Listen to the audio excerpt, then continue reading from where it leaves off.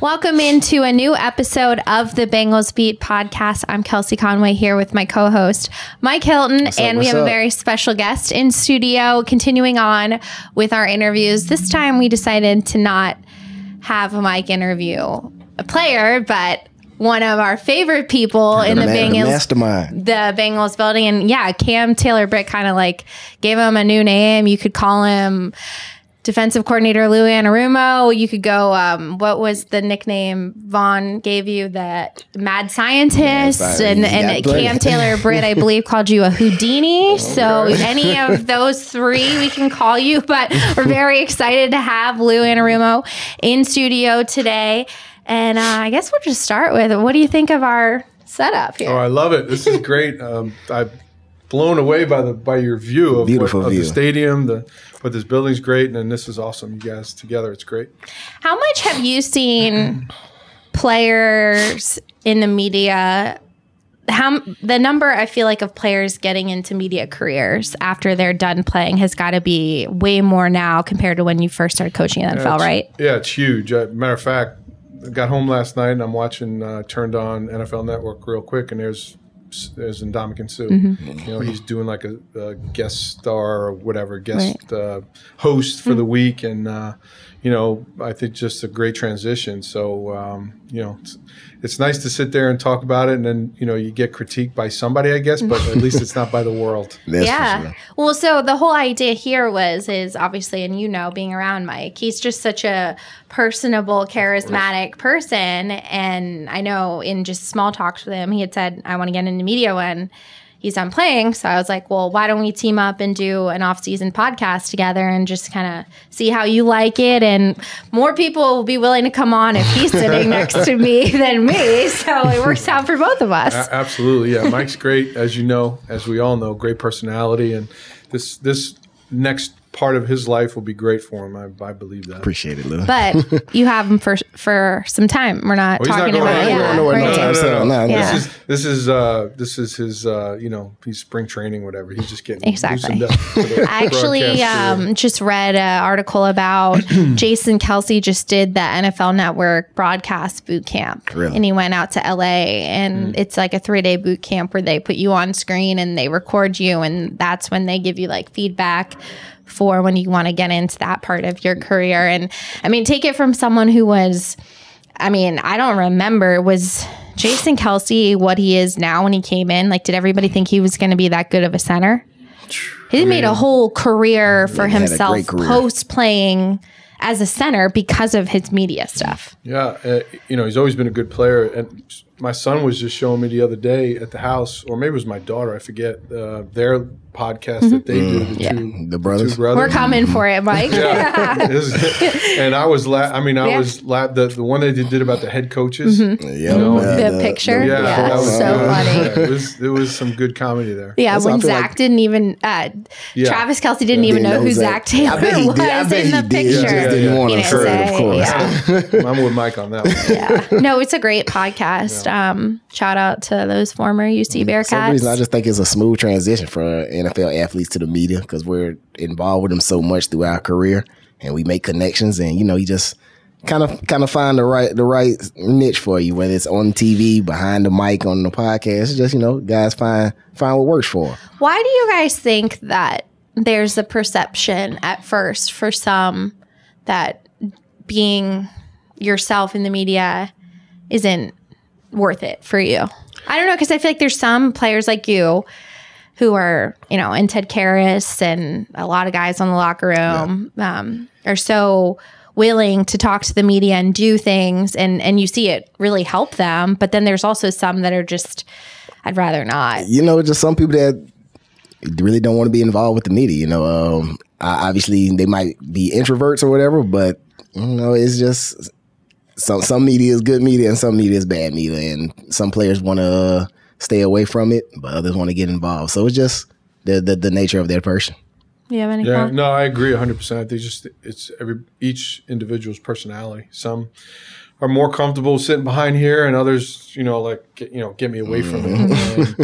and, and natural you know, us as humans are going to get away from the things you don't like, and yep. so guys just shy away from it. I think if they're not truly comfortable in front of the camera or behind the microphone. Yeah, I don't know. I always just thought like, especially with social media taking off in the way that it has, like obviously more players are understanding of it when they come in, mm. but I mm. just always wondered why. Like, has someone gotten just a bad experience that's kind of like plagued the players? I just wanted to get your feedback on it. But mm. yeah, some people, I guess, think, think, just, think of Mar- Marshawn Lynch. I'm pretty sure during his interviews, he he just didn't want to be here because he'll get fined. So it's like he's just one of the guys that really didn't want to be involved with the media, which is yeah.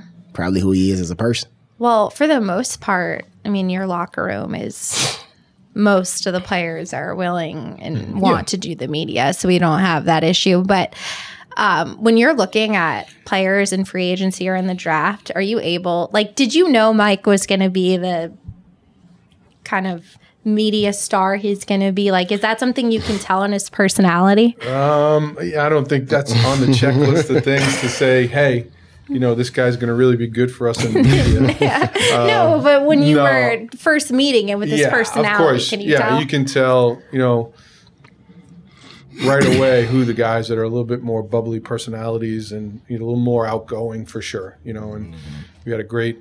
There's me, you, Chido, Trey. Uh, Trey. Uh, um, there's a couple offensive guys too. Uh-huh. But, but, at our table, it was yeah, three. that was our table, and kind of talked about it was almost. Oh, is this the free agency yeah, dinner? Yeah, yeah. Tell the me about that. infamous that. free agency dinner. But to me, that was like um, we were at uh, Jeff. Jeff we were at the precinct yep. and uh, upstairs, and um, maybe they'll pod, maybe they'll sponsor the podcast, Mike. Yeah, hopefully. Mr. Mr. Ruby always does a great job uh, taking care of all of us, but. Um, uh, he uh, that that dinner was to me. I mean, I coached in college a long time, and it was like a recruiting dinner. Mm-hmm. Um, and not that we were recruiting them, but we was more kind of selling them on what my vision on defense, Zac's vision as the team.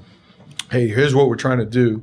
We had some momentum coming out of the 2000, uh, the the uh, 20 season. Mm-hmm. You know, we mm-hmm. had won some games and made some inroads there. I think I still think if Joe doesn't get hurt that year, we probably win I don't know, six, seven, eight games maybe. Hmm. Um, so we were on the right trajectory. And then when we started adding players like Mike and Trey and Chido and, and the Vonn, you know, the year before, and, um, you know, and the guys we added on offense. So that was one of those, I'll tell that story forever. Like it started kind of here, you know? And um, I know those guys got a great feel for it too. So mm-hmm. what, um, go go back to the, Mike coming across your desk. Was it you sat in a free agency meeting and you had just gotten on your first season. So, how did you, I guess, set up that list of because you had a lot of positions you wanted to mm-hmm. revamp per se? How'd you start with your list and how did Mike end up here?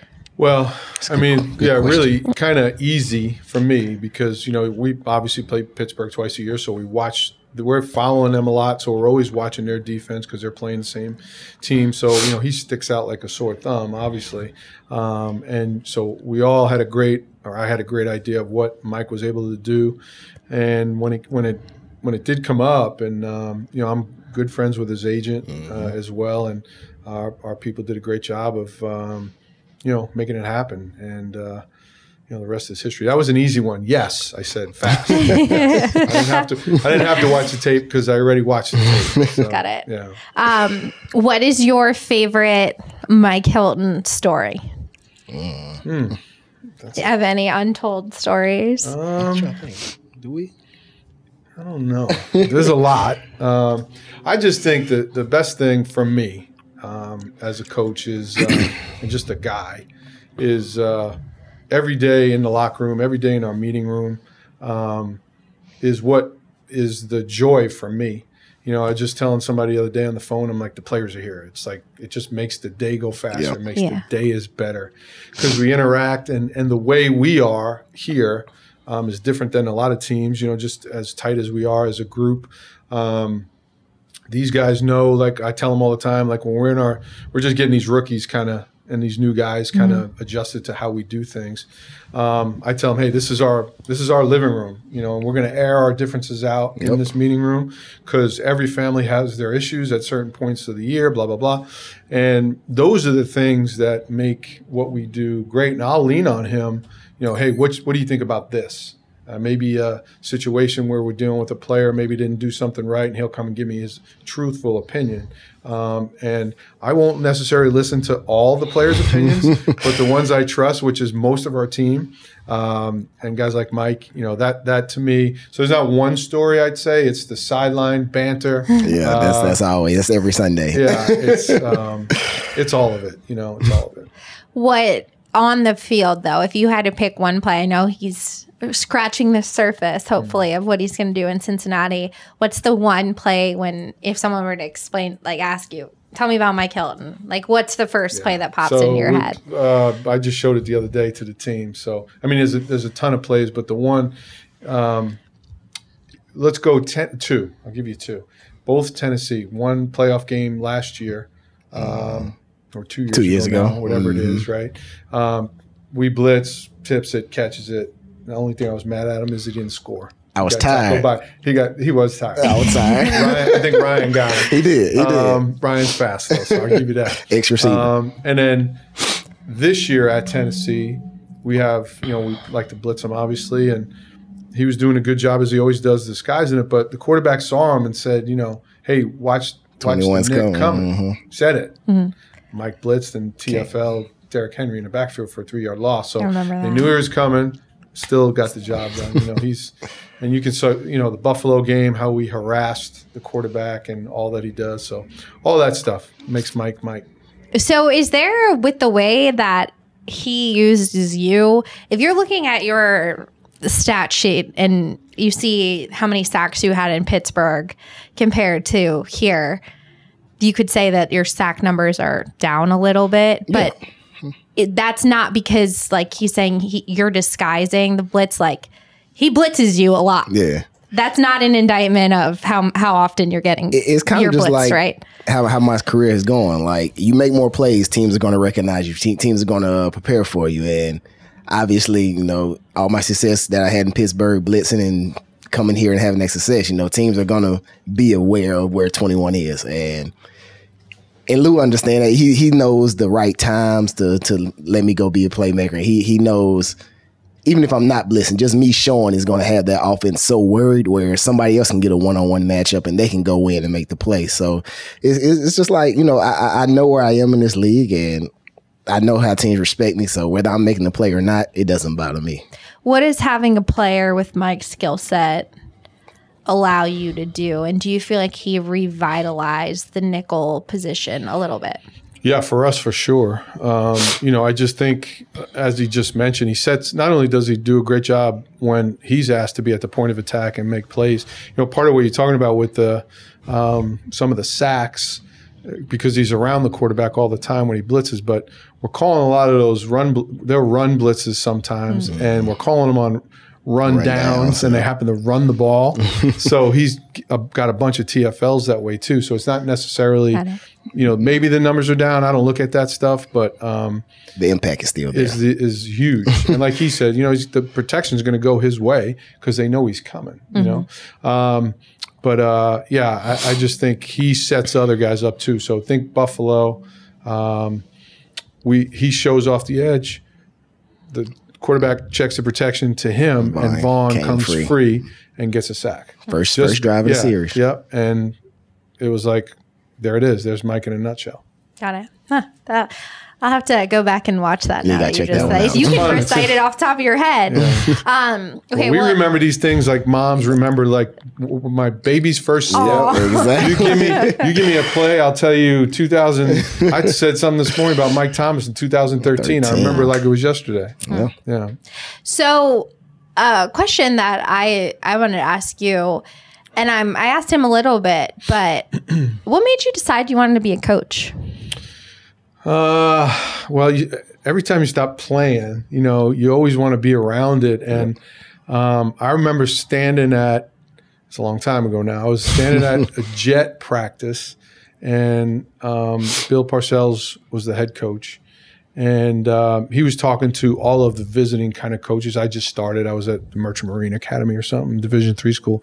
And he goes, "Hey, beats beats nine to five all day, every day. You know, just Yeah. you're out here coaching, you're enjoying it, and you know, my dad was a high school basketball. My my dad was a, a really good um, played Division One basketball, um, and uh, coached high school basketball. So it was kind of always in me. He was a teacher, principal, so I always thought I'd be a I don't know. I thought I'd be a high school teacher and a high school football coach. You know, growing up, I thought that's what I wanted to do. Um, and then I was like, yeah, I, I think I can do maybe a little bit better than this. So, and um, just kept going. So, Well, but it's one thing to say that, but then, I mean, think of how many people are you that don't end up a defensive coordinator and hopefully soon to be a head coach. Hopefully, Ah. maybe not. Hopefully, So, how did you, where do you feel like you really made your mark as a coach to transition to the NFL side of things? um, I think it was all those years I was coaching in college. I would always come and visit guys that I knew in the league. So to always kind of stay up with, hey, what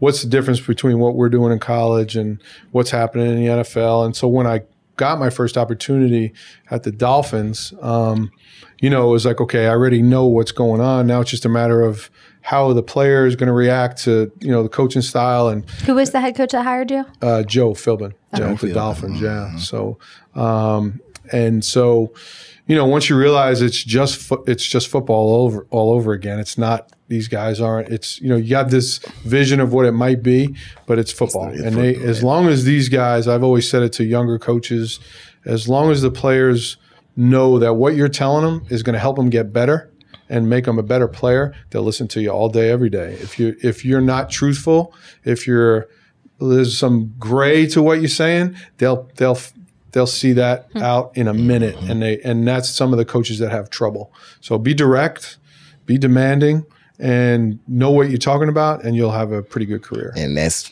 that's him in a nutshell. You know, that's how he is as a coach. He's going to tell us exactly how he wants it done, and we we know he's going to put us in the right position to make the play. We just have to make it, and that, that's kind of that's the that's the trust that we have in Lou and the the trust he has in us. No. So I asked Cam, did he have like a welcome to the NFL moment? And you reciting things you say to Cam Taylor Britt might be like favorite part of my press the press conferences 'cause Explicit. it's just so funny when he's just like "Just don't do don't ever do that again.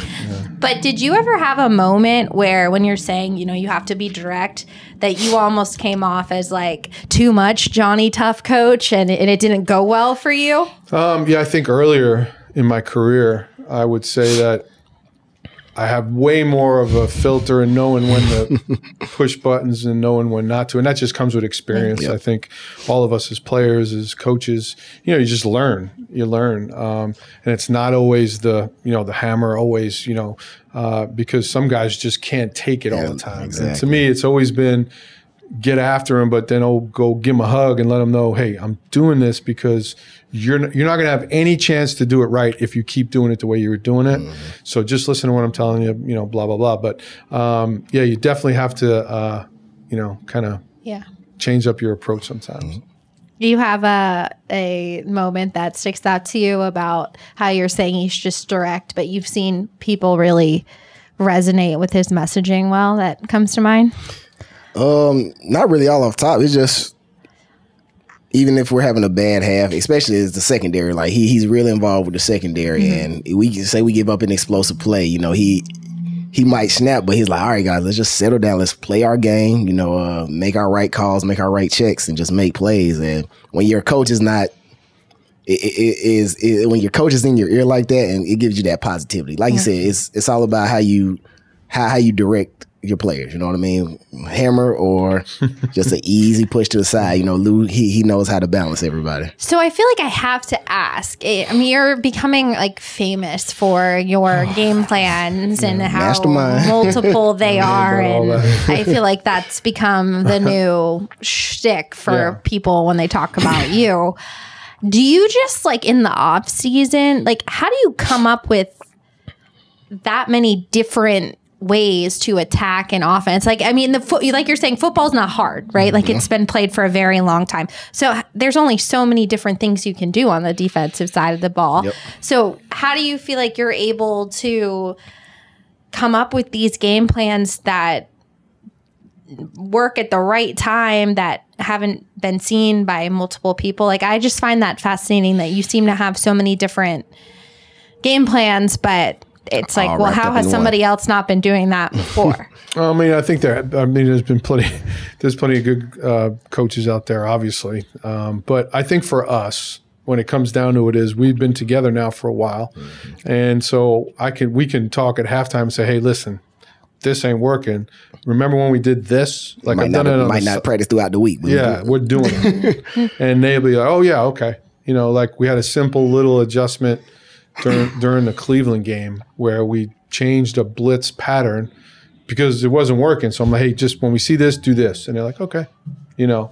Um, and then we can just kind of play off of, I mean, we have our stuff that we do and we're going to do it because we do it well. Um, and then we just have little things off of it that may look the same, but but it's different, you know. And that to me, especially with the quarterbacks we have to face, Yeah. you know, we've got to keep those guys off balance, and um, that's that's a big part of my job is Sundays, really trying to get that guy to be uncomfortable and not okay. I know what's coming because it's like baseball. If they know the fastball's coming, they're going to hit it, you know, into the second second stand, second row, you know. So just trying to keep them off balance. I should know if you have like a book that you just hit in the summer that's just like all these different defensive packages and like one week you're like oh here's my binder of all Wouldn't the be ones that i like your, your bag We of have- tricks we per have, se we have some stuff that we're working on for sure. We did a little something today, Yep, actually. yep. Um, but uh, again, it's it's more of right who we who we playing, what are they present, what are the issues they're presenting, and how do we stop those major issues? You know, you know, we we have a saying. It's like you know we. You know, we got to nail the things we know they're going to do. Whatever they they're good at, we got to stop that. Yep. And then whatever else they do different, we have rules that will handle all of it. So, you know, there should never be like Mike said, you know, like there should never be anybody running free in the, in the secondary. Like, you know, things are going to happen. It's the NFL. I- You know, people score points these Mm-hmm. days, but um, you know, we, we should be close to guys, and um, when we're not, that's when I get That's a the problem. agitated. how do you feel how long do you feel like it takes you to get to know the type of player you're coaching when you're saying he can handle harsh criticism versus I might need to be a little bit more gentle? Like how long does that take you to figure out? Yeah, pretty quick for me. You know, you can see whether it's you know body movements or reaction, um, or just facial reactions, or how did they handle that? You know, or did they just you know s- take it? You know, and again, I think you just f- get get a feel for that uh, as each guy's so different. You know, so some guys can, some guys can't. Did you ever think do you ever think about wanting to go into coaching? I have. Um, you know, that might be something I do down the line. Yeah, he's coming with me. Don't worry about it. Hey, Yeah. if You're he- recruiting. I'll gladly, I'll gladly You're take that if recruiting he want me to take him with Not him. yet, not yet. But you know, obviously, I will still want to be around the game, and I know how much the, the coaches put into put into you know preparation for the players Is and that game the plan. main reason why you wouldn't is the hours? I think so. Just because I did it so much as a player, you know, I definitely want to take some time away, but stay involved in it. Maybe so. Coaching is up in the air right now, so we'll see. Let's see. Well, so that's such a common thing, right? Mm-hmm. Like people talk about how much coaches work during the season. They work way more than us, and that's what they, that's what people don't understand. Can you like break it down a week schedule for our listeners who Sure. don't know how much time coaches actually spend Yeah. getting ready for the game, etc. What's your week like? I mean, so I used to tell when my kids were younger, I would tell them when the season started, I'd say, I'll see you in the spring.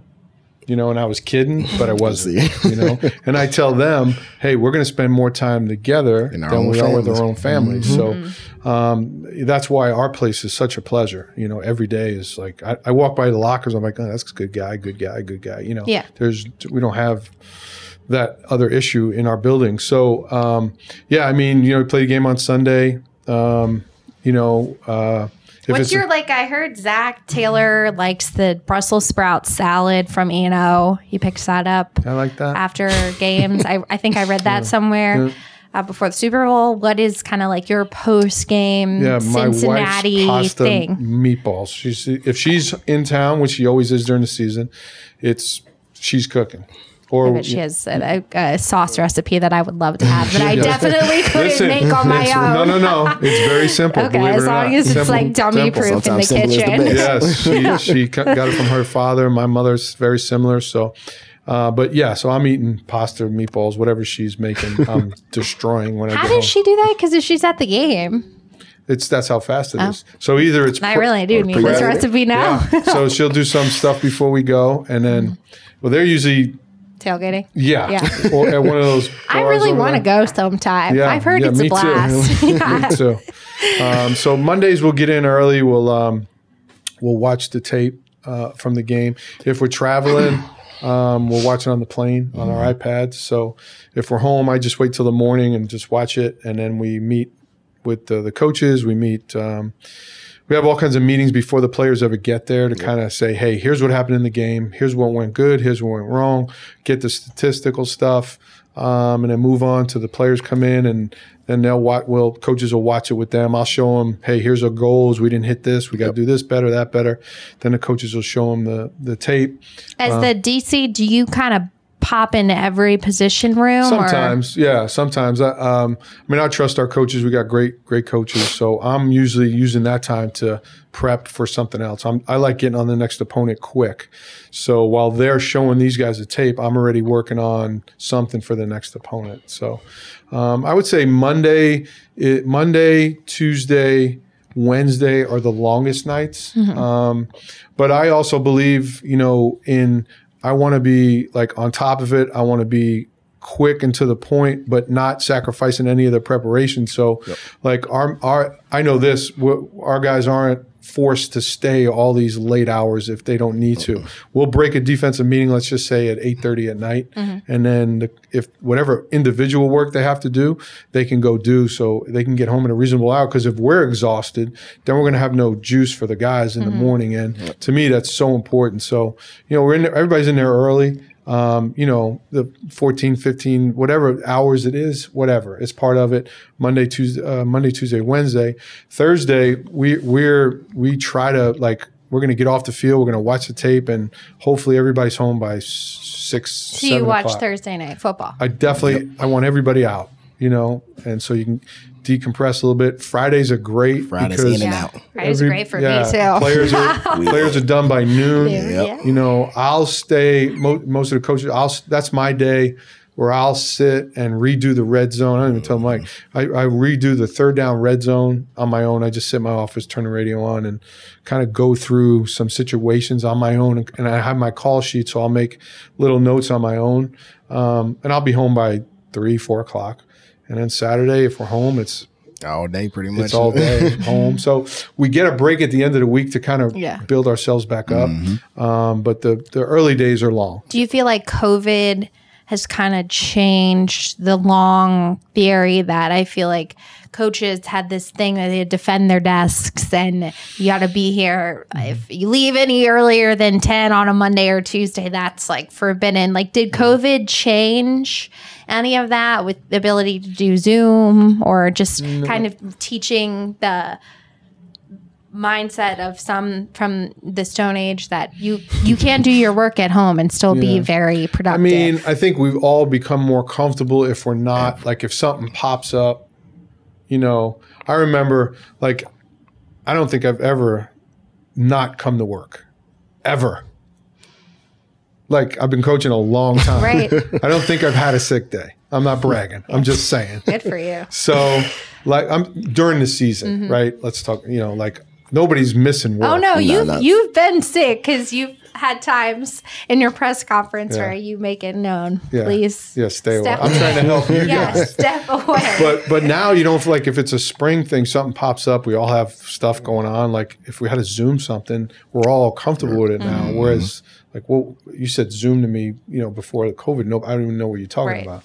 So and maybe that part of it, but no, I, I just think we do what we do, and um, you know, we just keep being uh, on point, and it's working. what is the most gratifying part of being a coach at the level that you are?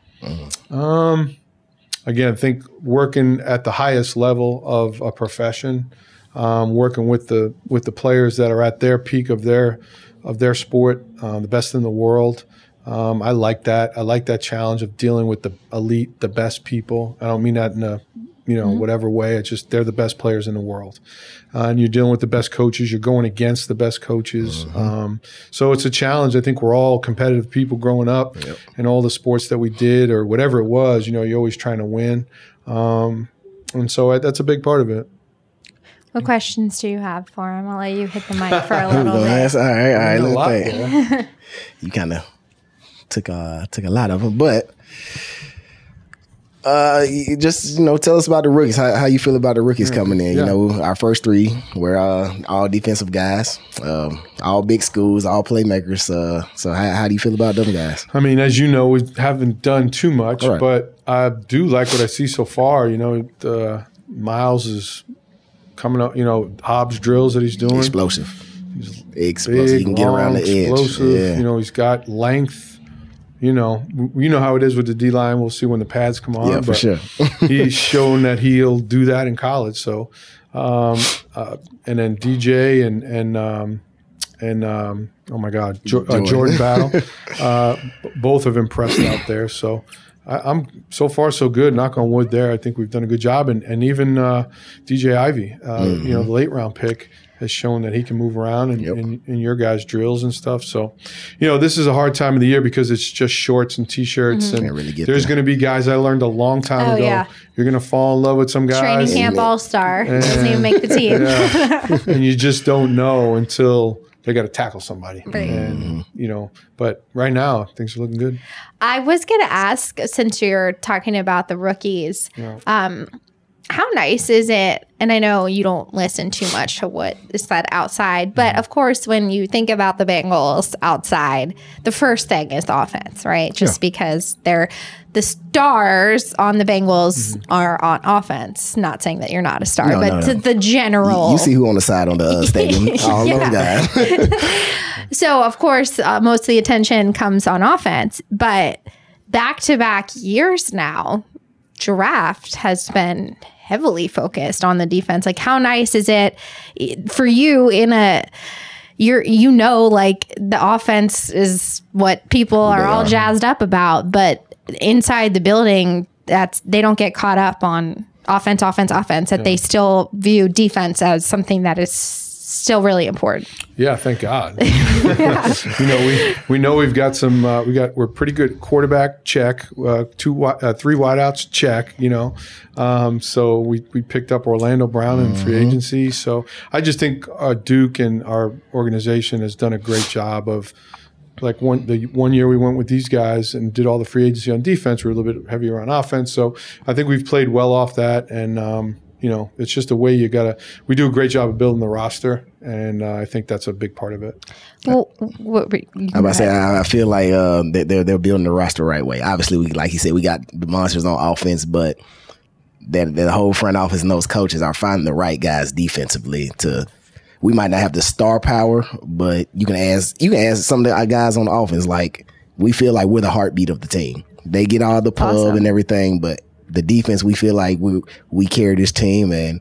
You know, uh, it's, it's just who we are as a defense, and we take pride in it. Yeah, for sure. Tell us about the head coaching process the last couple Mm. of years. You enjoy it? I mean, well, yeah, I do. Um, it's it's a different it's a different deal. Um, I will say this year there was no like, you know, we lose a really really tough game in Kansas City. Um, you know, which it's just it's over, right? So it just goes from we're running for six months and then all of a sudden it's done.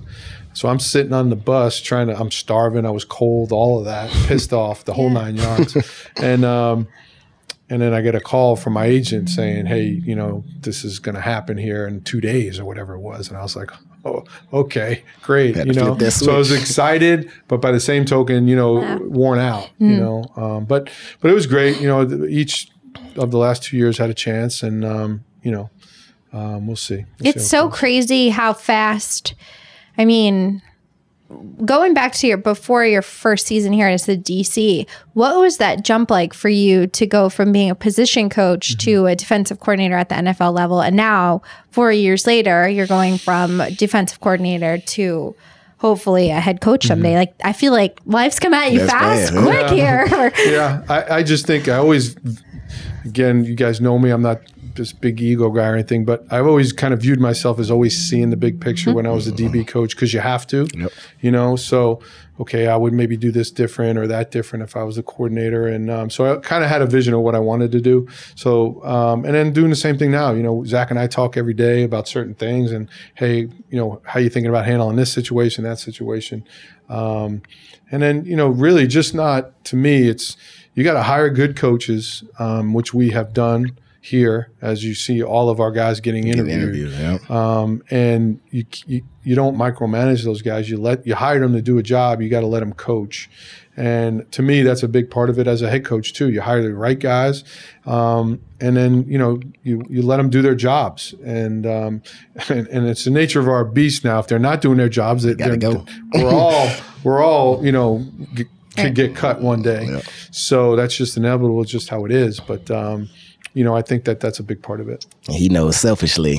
We've had some conversations during this whole process. Selfishly, I don't want him to go, but obviously, it's, it's a better opportunity for him. And you know, uh, like I said, hopefully he'll be here uh, Yeah. for the next couple of years. But that's a good thing about our coaching staff. Like over our, our success over these last two years, usually a lot of uh, coaches get plucked off the team, those teams, and go somewhere else. But we've been able to keep uh, this core together for a long time, and you know that's that, that shows just great stability around this organization.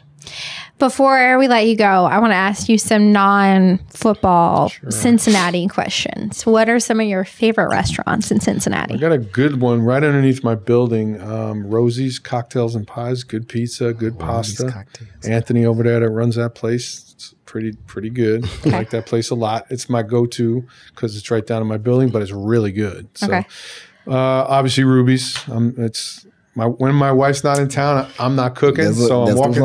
I'm walking somewhere, and I can walk to Ruby's, and they, again, great great food over there too. So those would be my two. Uh, Two top go tos, I would say. What about you? What are your favorite restaurants? Oh, and E and O. Wait, sorry, E and O, number three. Do you get the Brussels sprout salad? I do sometimes, not as much as Zac. Obviously said the precinct. That's one. And if you don't know about Swamp Water Grill, it's over in Kentucky. If you like char grill oysters, some type of seafood, Mm. Swamp Water Grill is is low key, but it's one of those you have you must have. okay. Shout out to Swamp Good Water. Good to know. Yeah, I'm glad you told me because I didn't know. Because I love all that. They got what you need. Swamp Water. Okay. It's- What do you like to do in the off season when you're not coaching football? Um, so we spend a lot of time. My sons like to play golf, so we'll golf. Um, just hang. at How's the- your game? Yeah, you know, uh, I'm all right. I'm good Who's the best golfer, whether it be coach or player? I know it's a lot of us that that golf, but Yeah, I don't know. Who I don't know who would Yeah. be the number one. Yeah, I know Duke's pretty good. Um, on the on the on the uh, personnel side, I'm not sure to be honest.